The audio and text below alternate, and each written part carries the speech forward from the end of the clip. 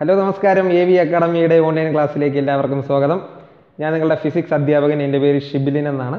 Okay അപ്പോൾ സയൻസിന്റെ ക്ലാസ്സുകൾ നമ്മൾ ഇതിനെ വിട്ടിട്ടില്ല. ഇത് ആദ്യത്തെ ക്ലാസ്സാണ് അതുകൊണ്ട് തന്നെ നമുക്ക് ഇത് കാണുന്ന എല്ലാവർക്കും പി എസ് സി ക്ലാസ്സിനൊന്നും പോയിട്ടില്ലാത്തവർക്ക് പോലും മനസ്സിലാവാൻ കണക്കിന് ഏറ്റവും ബേസിക് മുതൽ തന്നെ പറഞ്ഞു തുടങ്ങാനാണ് നമ്മൾ ആഗ്രഹിക്കുന്നത്.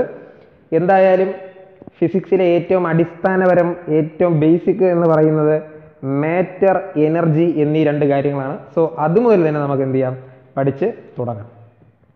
പി എസ് സി ക്ലാസ്സിനെ സംബന്ധിച്ചിടത്തോളം നമ്മൾ ഇതിനകത്ത് പഠിക്കുന്ന കാര്യങ്ങളൊക്കെ നിങ്ങൾ സ്കൂൾ കാലഘട്ടങ്ങളിൽ പഠിച്ച കാര്യങ്ങളായിരിക്കും. നമുക്ക് കൂടുതലും ടെസ്റ്റുകൾ വരുന്നത് പത്താം ക്ലാസ് പ്ലസ് ടു ആ ഒരു നിലവാരത്തിലൊക്കെ ആയിരിക്കും. ഇനിയിപ്പോൾ ഡിഗ്രി വന്നാൽ പോലും അതിനകത്ത് വരുന്ന കാര്യങ്ങൾ നമ്മൾ പഠിച്ചു വന്നവയായിരിക്കും. സോ ആ കാര്യങ്ങളൊക്കെ ആയിരിക്കും നമ്മൾ കൂടുതൽ പറയുന്നത്. സോ അറിയാവുന്നവർക്ക് എളുപ്പമായിട്ട് തോന്നും. പക്ഷേ അറിയാത്തവർ നിങ്ങൾക്ക് എന്തെങ്കിലും സംശയം ഉണ്ടെങ്കിൽ ഞങ്ങളോട് ബന്ധപ്പെടാം. നിങ്ങളുടെ സംശയങ്ങൾ താഴെ കമന്റ് എഴുതി ചോദിക്കാം. ഓക്കെ അപ്പോൾ നമുക്ക് എന്തായാലും ക്ലാസ്സിലേക്ക് കിടക്കാം. നമ്മൾ ആദ്യമായിട്ട് തുടങ്ങാൻ പോകുന്ന ടോപ്പിക് മേറ്റർ എന്നതാണ്. മേറ്റർ അഥവാ പിണ്ഡം. നമ്മൾ വാക്കുകളും മറ്റും പഠിക്കുമ്പോൾ ഇംഗ്ലീഷിൽ പഠിക്കണമോ മലയാളത്തിൽ പഠിക്കണമോ എന്നുള്ള ഒരു കൺഫ്യൂഷൻ നിങ്ങൾക്ക് വേണ്ട. കാരണം ഐ മീൻ സ്പെല്ലിംഗ് സ്പെല്ലിംഗ് ഒന്നും നമുക്ക് ബാധകമല്ല. നമുക്ക് മാർക്ക് ചെയ്യാൻ അറിയാമായിരുന്നാൽ മതി. സോ ടേംസ് മാത്രം നമ്മൾ മലയാളത്തിലും ഇംഗ്ലീഷിലും പറയും. എല്ലാവർക്കും മനസ്സിലാവാൻ വേണ്ടി ചിലപ്പോൾ എഴുതുന്നതൊക്കെ കൂടുതലും നമ്മൾ മലയാളത്തിലായിരിക്കും എഴുതുന്നത്. അപ്പോൾ എല്ലാവർക്കും മനസ്സിലാകുമെന്ന് പ്രതീക്ഷിച്ചുകൊണ്ട് തുടങ്ങുകയാണ്. സോ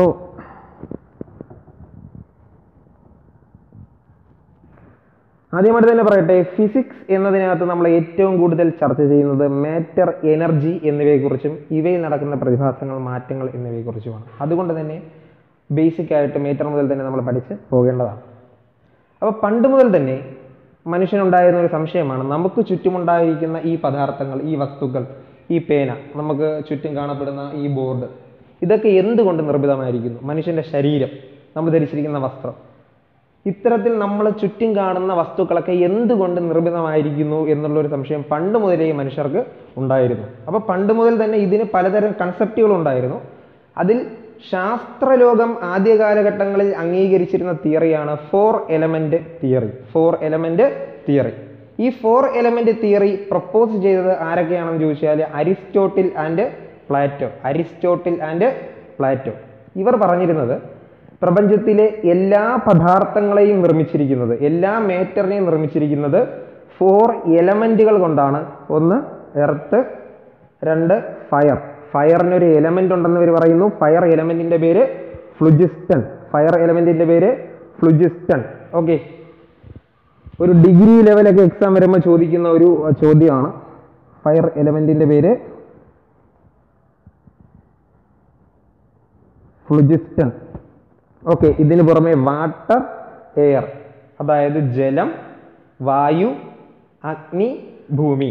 ഇവ കൊണ്ടാണ് പ്രപഞ്ചത്തിലെ എല്ലാ വസ്തുക്കളെയും നിർമ്മിച്ചിരിക്കുന്നത് എന്നാണ് അരിസ്റ്റോട്ടിൽ പ്ലേറ്റോ മുതലായവർ പറഞ്ഞിരുന്നത്. അതുകൊണ്ട് അതിനെയാണ് ആദ്യകാലത്തെ ശാസ്ത്രലോകം അംഗീകരിച്ചിരുന്നത്. എന്നാൽ ആ കാലഘട്ടത്തിൽ തന്നെ ഡെമോക്രൈറ്റസിനെ പോലെയുള്ള ആൾക്കാർ പറഞ്ഞിട്ടുണ്ടായിരുന്നു വളരെ ചെറിയ കണികകൾ കൊണ്ടാണ് നമുക്ക് ചുറ്റുമുള്ളവ നിർമ്മിച്ചിരിക്കുന്നതെന്ന്. ഇതേ കൺസെപ്റ്റ് പറഞ്ഞ ഇന്ത്യക്കാരനായിട്ടുള്ള ഒരു വ്യക്തിയും ഉണ്ടായിരുന്നു. അദ്ദേഹത്തിന്റെ പേരാണ് കണാദ മഹർഷി. ആരാണ്? കണാദ മഹർഷി. കണാദൻ. കണാദൻ.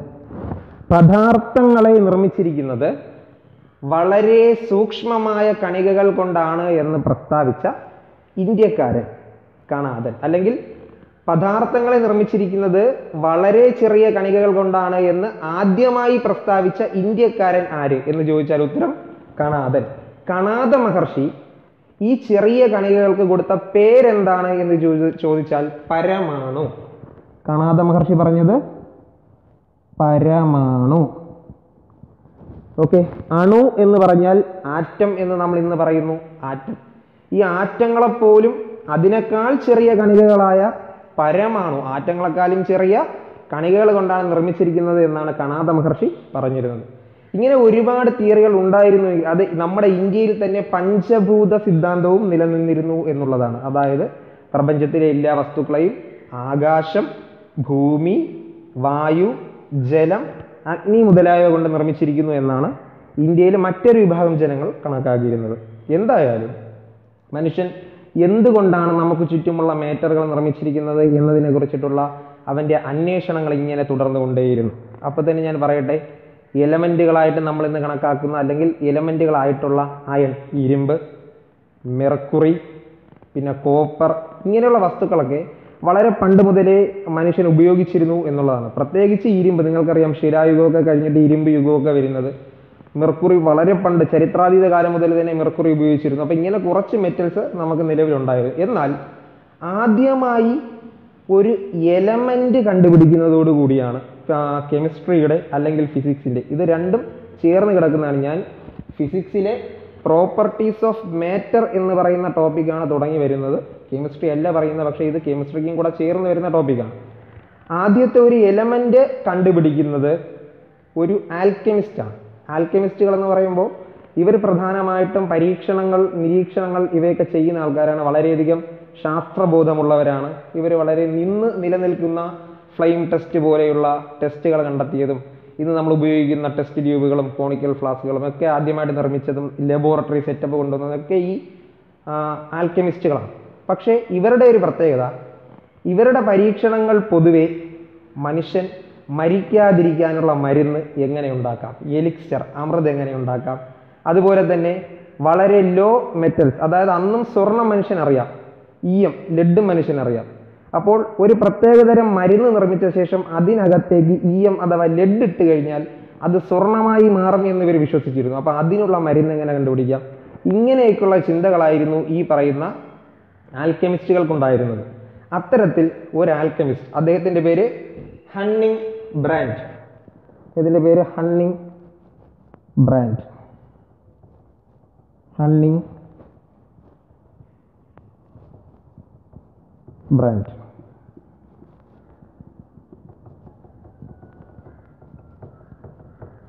അപ്പോൾ ഹണ്ണിങ് ബ്രാൻഡ് എന്ന് പറയുന്ന ഒരു ആൽക്കെമിസ്റ്റ് അദ്ദേഹം തനിക്ക് ചുറ്റും കാണുന്ന മഞ്ഞ നിറമുള്ള വസ്തുക്കളെയൊക്കെ വെള്ളവുമായിട്ട് മിക്സ് ചെയ്ത് ചൂടാക്കാൻ തുടങ്ങി. ഇങ്ങനെ ഒരുപാട് ചൂടാക്കി കഴിയുമ്പോൾ ഇതിനകത്ത് നിന്ന് സ്വർണം കിട്ടുമെന്ന് അദ്ദേഹം വിശ്വസിച്ചു.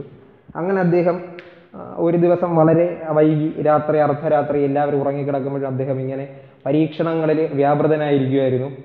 അദ്ദേഹം പരീക്ഷണങ്ങൾ പല രീതിയിൽ ചെയ്ത് അത് കടർന്ന ഒരു വലിയ സ്റ്റെപ്പിലേക്ക് അദ്ദേഹം കടന്നു. അദ്ദേഹം സ്വന്തം യൂറിൻ അഥവാ മൂത്രം ഒരു കോണിക്കൽ ഫ്ലാസ്കിലെടുത്ത് അതിനെ ചൂടാക്കാൻ തുടങ്ങി. കാരണം അതിന് മഞ്ഞ നിറമുണ്ടല്ലോ ഇതിനകത്ത് എങ്ങാനും ഗോൾഡ് ഉണ്ടെങ്കിലോ.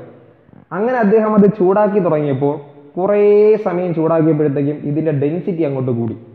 ഡെൻസിറ്റി കൂടിയ ശേഷം വളരെ നമ്മുടെ ഈ ലൈറ്റൊക്കെ കത്തുന്ന കണക്ക് വളരെ വലിയൊരു പ്രകാശം ഇതിനകത്ത് നിന്ന് ഉണ്ടാകുന്നതായിട്ട് അദ്ദേഹം കാണുകയും നമ്മുടെ ആർക്കിമിഡീസ് ഇറേക്ക ഇറേക്ക എന്ന് വിളിച്ചതുപോലെ ഇദ്ദേഹം ആനന്ദാശ്രുക്കളോടുകൂടി തുള്ളിച്ചാടുകയും ചെയ്തു. കാരണം ഇദ്ദേഹം വിചാരിച്ചത് ഈ സ്വർണം നിർമ്മിക്കാനുള്ള എലിക്സ്ചർ താൻ കണ്ടെത്തി എന്നുള്ളതാണ്.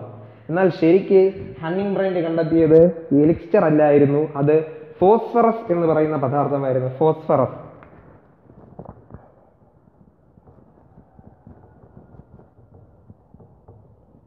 ഫോസ്ഫറസ്.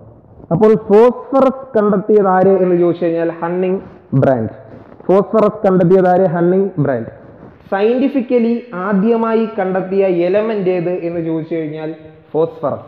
സയന്റിഫിക്കലി ആദ്യമായി കണ്ടെത്തിയ എലമെന്റ് ഏത് എന്ന് ചോദിച്ചു കഴിഞ്ഞാൽ ഫോസ്ഫറസ്. അപ്പോൾ അയൺ ഇതിനു മുമ്പുണ്ട് മെർക്കുറി ഇതിനു മുമ്പുണ്ട് ഗോൾഡ് ഇതിനു മുമ്പുണ്ട്. പക്ഷേ അതൊക്കെ എന്ന് കണ്ടെത്തിയെന്നോ ആര് കണ്ടെത്തിയെന്നോ ഒന്നും നമുക്കറിയത്തില്ല.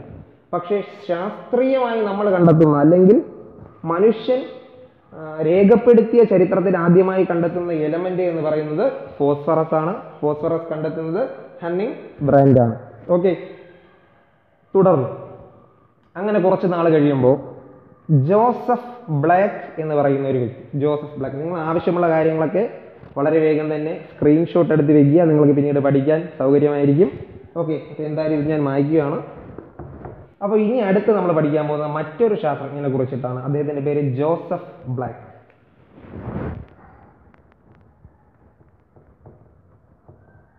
Joseph black. ശരിക്കും പറഞ്ഞാൽ ജോസഫ് ബ്ലാക്ക് ഒരു ശാസ്ത്രജ്ഞനല്ല അദ്ദേഹം ഒരു ഡോക്ടർ ആയിരുന്നു ജോസഫ് ബ്ലാക്ക് ഒരു പരീക്ഷണം നടത്തുമായിരുന്നു. അത് തന്റെ മെഡിക്കൽ പർപ്പസിന് വേണ്ടി നടത്തിയ ഒരു പരീക്ഷണമാണ്. അദ്ദേഹത്തിന്റെ പരീക്ഷണം ഇതായിരുന്നു എങ്ങനെ നമുക്ക് കിഡ്നി സ്റ്റോണിനെ നശിപ്പിക്കാം? ഇന്ന് നമുക്കറിയാം എന്താണ് കിഡ്നി സ്റ്റോൺ കാൽഷ്യം ഡിപ്പോസിഷൻ ആണ് കിഡ്നി സ്റ്റോൺ എന്ന് പറയുന്നത്. കാൽഷ്യം ഡിപ്പോസിഷൻ ആണ് കിഡ്നി സ്റ്റോൺ അപ്പം അന്ന് കാൽഷ്യം എന്ന എലമെന്റ് എന്താണെന്നോ ഒന്നും ഇവർക്ക് അറിയത്തില്ലായിരുന്നു. പക്ഷേ കാൽഷ്യത്തിന്റെ പ്രോപ്പർട്ടീസ് ഇവർക്ക് അറിയാമായിരുന്നു സോ ജോസഫ് ബ്ലാക്ക് എന്ത് ചെയ്തു? തനിക്ക് ചുറ്റുമുള്ള കാൽഷ്യത്തിന്റെ പ്രോപ്പർട്ടികളുള്ള അതായത് കിഡ്നി സ്റ്റോണിന്റെ പ്രോപ്പർട്ടികളുള്ള വസ്തുക്കൾ പദാർത്ഥങ്ങളെയൊക്കെ കണ്ടത് നമുക്കറിയാം നമുക്ക് മാർബിൾ എടുക്കാം മുട്ടത്തോടെടുക്കാം ഇതിലൊക്കെ ഈ പറയുന്ന കാൽഷ്യത്തിന്റെ പ്രോപ്പർട്ടി. അപ്പോൾ ഇതുപോലെ ഒരു പദാർത്ഥം ജോസഫ് ബ്ലാക്ക് എടുക്കുകയും അത് പൊടിച്ചിട്ട് അതിലോട്ട് അല്പം ആസിഡ് ഒഴിക്കുകയും ചെയ്തു. അതിലേക്ക് അല്പം ആസിഡ് ഒഴിക്കുകയും ചെയ്തു. നമ്മുടെ ആൽക്കെമിസ്റ്റുകളൊക്കെ പണ്ട് മുതലേ ആസിഡുകളൊക്കെ ഉപയോഗിക്കുന്നുണ്ട്. സോ അദ്ദേഹം ഈ സ്റ്റോണിനെ നശിപ്പിക്കാനുള്ള മാർഗം കണ്ടെത്താൻ വേണ്ടിയിട്ട് ഒരു പരീക്ഷണം ചെയ്യുവാണ്. കിഡ്നി സ്റ്റോണുമായി സാധ്യതയുള്ള അതായത് കാൽഷ്യവുമായി സാധ്യതയുള്ള പൊട്ടത്തോട് പോലെയോ മാർബിൾ പോലെയോ ഉള്ള ഒരു പദാർത്ഥം അദ്ദേഹം എടുത്ത ശേഷം അതിലേക്ക് എന്ത് ചെയ്തു? അല്പം ആസിഡ് ഒഴുകിയ അങ്ങനെ ആസിഡ് ഒഴിച്ചു കഴിഞ്ഞപ്പോൾ എന്തോ കുമിളകൾ വരുന്നതായിട്ട് ഇദ്ദേഹം ശ്രദ്ധിക്കുകയും ആ കുമിളകൾ എന്തോ ഒരു വാതകമാണ് എന്ന് അദ്ദേഹം മനസ്സിലാക്കുകയും ചെയ്തു. തുടർന്ന് അദ്ദേഹം ഈ വാതകത്തെ മറ്റൊരു കോണിക്കൽ ഫ്ലാസ്കിലേക്ക് എടുത്ത ശേഷം കത്തിക്കൊണ്ടിരുന്ന ഒരു മെഴുകുതിരിയുടെ മേലോട്ട് കൊണ്ടുപോയപ്പോഴത്തേക്ക് മെഴുകുതിരി അണഞ്ഞു പോകുന്നതായിട്ട് അദ്ദേഹം കണ്ടു. പക്ഷെ അദ്ദേഹം ശ്രദ്ധിച്ച മറ്റൊരു കാര്യം സാധാരണ ഏറെ മേലേക്ക് പൊന്തിയാണ്. അപ്പോൾ ആവിയൊക്കെ നമ്മൾ വരുന്ന കണ്ടിട്ടുണ്ടല്ലോ മേലേക്ക് പൊന്തിയാണ് വരുന്നത്. പക്ഷെ ഈ ടെസ്റ്റ് ട്യൂബിലുള്ള ഈ വായുവിന്റെ പ്രത്യേകത ഇതിന് മേലെ മെഴുകുതിരി പിടിച്ചപ്പോൾ മെഴുകുതിരി അണയുന്നില്ല. പക്ഷേ മെഴുകുതിരി അടിയിൽ വെച്ച ശേഷം മേലെ നിന്ന് വെറുതെ ടെസ്റ്റ് ട്യൂബ് ചരിച്ചൊഴിച്ചപ്പോൾ എന്ത് ചെയ്തു? മെഴുകുതിരി അണയുന്നതായിട്ട് കണ്ടു. ഇതിൽ നിന്നും അദ്ദേഹത്തിന് മനസ്സിലായി സാധാരണ വായുവിനേക്കാളും ഹെവി ആയിട്ടുള്ള കട്ടി കൂടിയ അല്ലെങ്കിൽ ഭാരം കൂടിയ അല്ലെങ്കിൽ സാന്ദ്രത കൂടിയ ഒരു വായുവാണ് ഈ വന്ന വായു എന്ന് അദ്ദേഹം മനസ്സിലാക്കുകയും അതിന് അദ്ദേഹം ഫിക്സ് എയർ എന്ന് വിളിക്കുകയും ചെയ്തു. ഫിക്സ് എയർ ഫിക്സ് എയർ അപ്പോൾ ഫിക്സ് എയർ കണ്ടെത്തിയത് ആരും ചോദിച്ചു കഴിഞ്ഞാൽ ജോസഫ് ബ്ലാക്ക്. Joseph Black. ഈ ഫിക്സ് എയറിന് ഇന്ന് നമ്മൾ വിളിക്കുന്ന പേരുണ്ട് carbon dioxide carbon dioxide.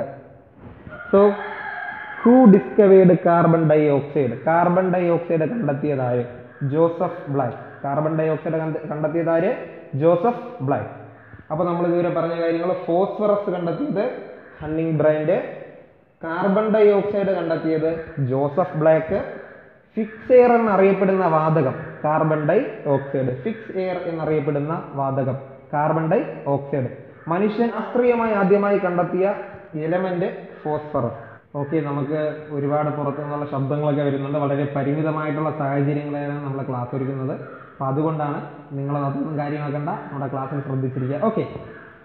അപ്പോൾ ജോസഫ് ബ്ലാക്ക് എന്ന് പറയുന്ന വ്യക്തിയാണ്. ഒരു ഡോക്ടറാണ്. കാർബൺ ഡൈ ഓക്സൈഡ് കണ്ടുപിടിച്ചത്. അപ്പോൾ ഇതിൽ നിന്ന് ചോദിക്കുന്ന ചോദ്യങ്ങൾ ഫിക്സെയർ എന്നറിയപ്പെടുന്ന വാതകം carbon dye oxide.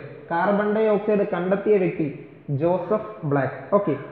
So Joseph Black acid ഒഴിച്ചുകൊണ്ട് പുതിയൊരു ഗ്യാസ് കണ്ടെത്തി എന്ന് കൂടി തന്നെ സയന്റിഫിക് എന്തൂസിയാസ്റ്റുകളായിട്ടുള്ള ആൾക്കാർ ഇങ്ങനെയുള്ള പരീക്ഷണങ്ങൾ ചെയ്യാൻ തുടങ്ങി. അവർ കാണുന്ന പദാർത്ഥങ്ങളിലേക്ക് ആസിഡ് ഒഴിക്കാൻ തുടങ്ങി. ഇത്തരത്തിൽ കാണുന്ന പദാർത്ഥങ്ങളിലേക്ക് ആസിഡ് ഒഴിച്ച് കളിച്ച ഒരു മനുഷ്യനാണ് Joseph Priestley.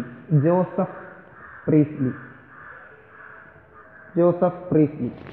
നമ്മൾ ഇനി അങ്ങോട്ട് ഒരുപാട് പറയാൻ പോകുന്ന ആളാണ് ജോസഫ് പ്രീസ്ലി. എന്തായാലും ജോസഫ് പ്രീസ്ലി ഒരുപാട് പുതിയ പുതിയ വാതകങ്ങൾ കണ്ടുപിടിച്ചു. പക്ഷെ അദ്ദേഹം പ്രധാനമായിട്ടും ചെയ്ത ഒരു കാര്യം അദ്ദേഹം വെള്ളവുമായി ഫിക്സ് എയറിനെ മിക്സ് ചെയ്യാൻ ശ്രമിച്ചു. അതിനുവേണ്ടി അദ്ദേഹം പല പല മെത്തേഡുകൾ കണ്ടെത്തി. ഒടുവിൽ അദ്ദേഹം അതിൽ സക്സസ് ആയി. സക്സസ് ആയ ശേഷം അദ്ദേഹം ആ വെള്ളം കുടിച്ചു നോക്കിയപ്പോൾ ഒരു വല്ലാത്ത അനുഭൂതി അദ്ദേഹത്തിനുണ്ടായി. ആ വെള്ളത്തിന്റെ പേരാണ് സോഡ വെള്ളം അഥവാ കാർബോണിക് ആസിഡ്. സോഡ വെള്ളം അഥവാ കാർബോണിക് ആസിഡ്. സോഡ. അല്ലെങ്കിൽ അതിന് മറ്റൊരു പേര് കാർബോണിക് ആസിഡ്. Carbonic acid. അപ്പോൾ കാർബോണിക് ആസിഡ് എന്നറിയപ്പെടുന്ന പദാർത്ഥം സോഡ. സോഡയുടെ ശാസ്ത്രീയ നാമം കാർബോണിക് ആസിഡ്. സോഡ കണ്ടെത്തിയതാര് ജോസഫ് പ്രീസ്ലി. കാർബോണിക് ആസിഡ് കണ്ടെത്തിയതാര് ജോസഫ് പ്രീസ്ലി. വേറൊന്നുമില്ല നമുക്കറിയാം വെള്ളത്തിനകത്തേക്ക് കാർബൺ ഡൈ ഓക്സൈഡ് അലിഞ്ഞിരിക്കുന്നതാണ് സോഡ പക്ഷെ അത് കുടിക്കുമ്പോൾ നമുക്കൊരു പ്രത്യേക രുചിയാണ് അനുഭവപ്പെടുന്നത്. ഈ രുചി ജോസഫ് പ്രീസിരിക്കും അനുഭവപ്പെട്ടു. അപ്പോൾ അദ്ദേഹം വിചാരിച്ചത് ഈ വാട്ടർ എന്തോ മിനറൽസ് നിറഞ്ഞ വാട്ടറാണ് എന്ന് അദ്ദേഹം വിചാരിച്ചിരുന്നു. അപ്പോൾ അന്ന് കാലഘട്ടത്തിൽ നമ്മുടെ ജോസഫ് പ്രീസിരിയുടെ നാട്ടിൽ ജനങ്ങൾ അല്ലെങ്കിൽ നമ്മുടെ ആകപ്പാടെ ഈ ഭൂമിയിൽ നാവികരെ മുഴുവനും ആക്രമിച്ചിരുന്ന ഒരു രോഗമാണ് സ്കേർവി എന്ന് പറയുന്ന രോഗം. ഈ സ്കെർവി രോഗം ഉണ്ടാകുന്നത് മിനറൽസിന്റെ ഡെഫിഷ്യൻസി മൂലമാണ്. അപ്പോൾ ജോസഫ് ബ്രീസ് പ്രൈസിലേക്ക് ഒരു ആശയം തോന്നി.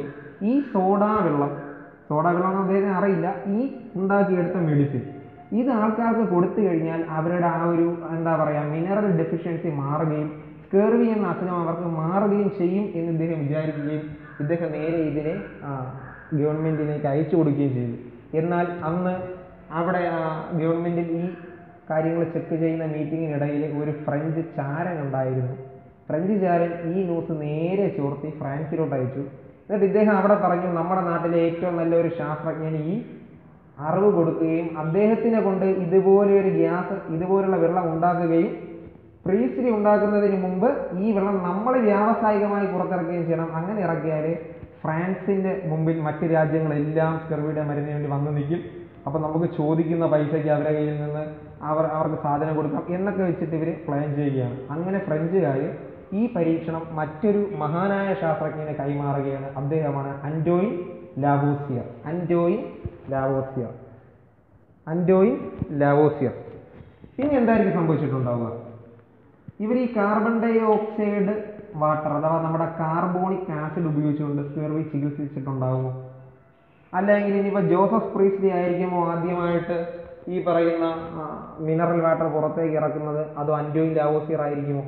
നമുക്കറിയാം കെമിസ്ട്രിയുടെ ഏറ്റവും വലിയ കെമിസ്ട്രിയുടെ ഗോഡ് ഓഫ് കെമിസ്ട്രി എന്നൊക്കെ പറയാൻ പറ്റുന്ന ഒരാളാണ് ആ, ആവോസിയർ അപ്പോൾ അങ്ങനെയാണ് പ്രീസ്ലിയുടെ കണ്ടെത്തലുകളിൽ നിന്ന് റീപരീക്ഷണം ചെയ്ത ആളാണെങ്കിൽ പിന്നെ എങ്ങനെയാണ് ഈ അൻജോയിൻ ലാവോസിയർ പ്രശസ്തനായിട്ടുള്ള ഒരാളായിട്ട് മാറുന്നത്?